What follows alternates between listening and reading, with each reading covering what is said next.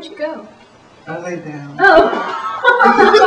I was like, Zach. I was so, I was so relaxed. Oh. I just was like, I'm gonna pass out. I just kind of like moved it over so I could see your head and shit. And then I just laid down. I was like, oh.